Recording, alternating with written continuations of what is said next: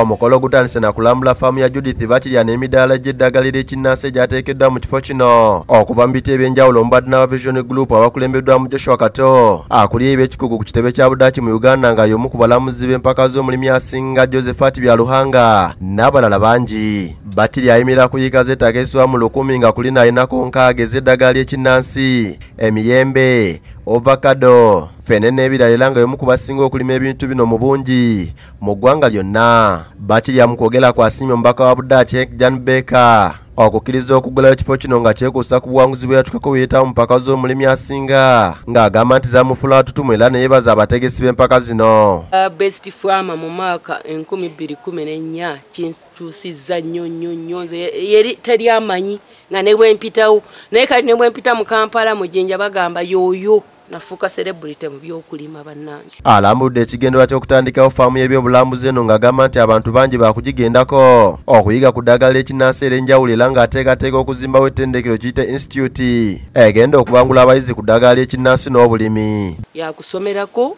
ebya agrotourism ey'okudemonstratinga agrotourism kyeki na buli mwaka twagala kuteekangawo festival eno gye bayita agrotourism festival okujaguza ebikwata ku kulambula mu kulima banange tuleme kulima bulimi na kutwala mu katale tuteekemu ebyokulambula joel ochelopu naye asimye abategesi b'empaka z'omulimi asinga kyagambye nti naye okuva lyava mu ggwanga lya budaaki yayigayo obukugu bungi era nga kati akyusiza nnyo ebyobulimi mu disitulikiti e kapucolwa I must tell you, it has built me. I'm totally different.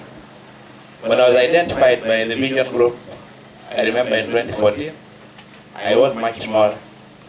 When I got Netherlands, it's a very tiny country, having more than six months of winter, and yet producing many thousands,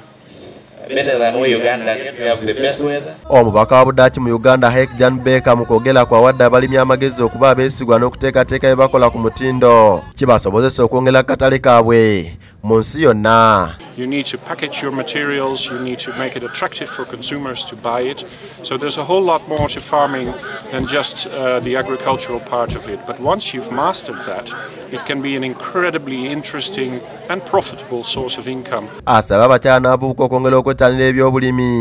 Okusobola okulwanyisa ebbula ly'emirimu Farming should be uh, one of the things that they, they consider as a career.